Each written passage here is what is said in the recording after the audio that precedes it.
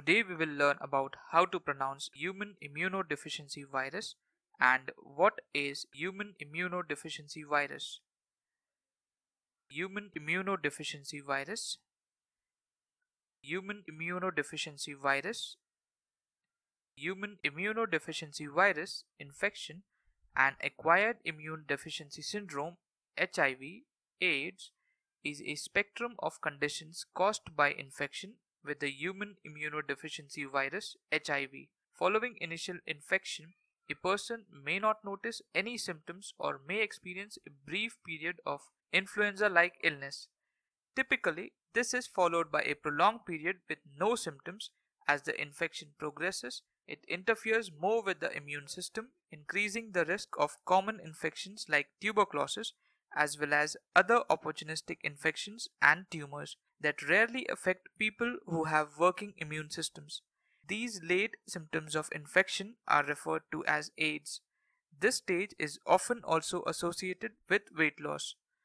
HIV is spread primarily by unprotected sex, including anal and oral sex, contaminated blood transfusions, hypodermic needles, and from mother to child during pregnancy, delivery, or breastfeeding.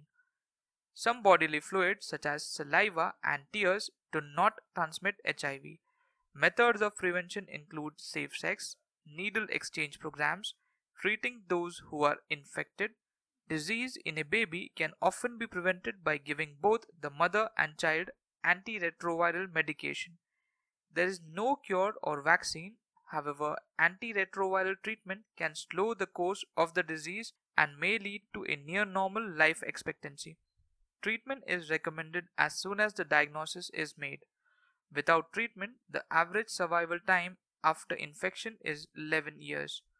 In 2015, about 37.3 million people were living with HIV and it resulted in 1.2 million deaths.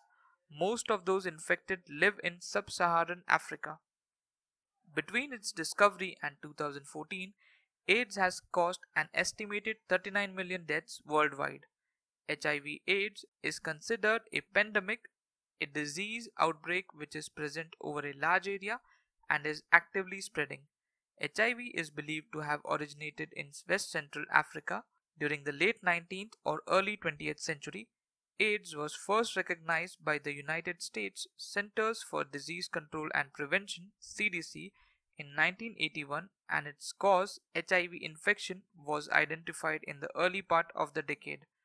HIV AIDS has had a great impact on society both as an illness and as a social discrimination. The disease also has a large economic impacts. There are many misconceptions about HIV AIDS such as the belief that it can be transmitted by casual non-sexual contact.